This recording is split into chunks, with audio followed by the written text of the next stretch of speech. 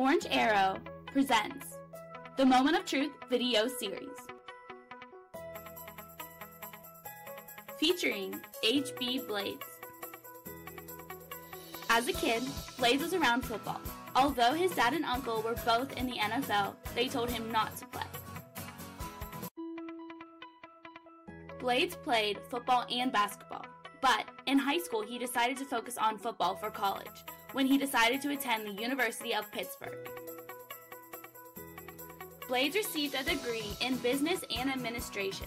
In football, he was ranked Defensive Player of the Year and was team captain at Pitt. Blades wanted to work for the CIA or FBI after graduating, but took the opportunity to play football and entered the NFL draft.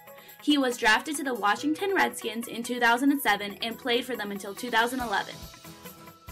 At age 15, Blades experienced his moment of truth. When he saw his dad have back problems from playing in the NFL. I realized that no one is Superman and you can't play football forever.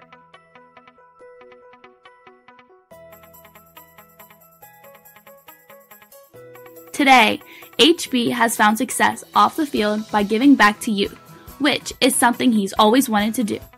HB is currently a high school football coach at Indian Land High School in Charlotte, North Carolina.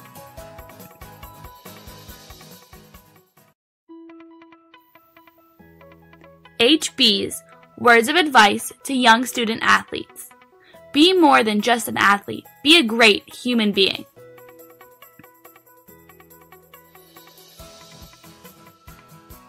Thanks for watching. To learn more, visit www.orangearrow.org.